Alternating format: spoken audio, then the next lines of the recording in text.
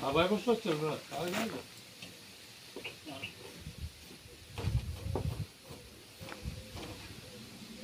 O da bizim şey. Orada bir de baca gibi bir şey var ya.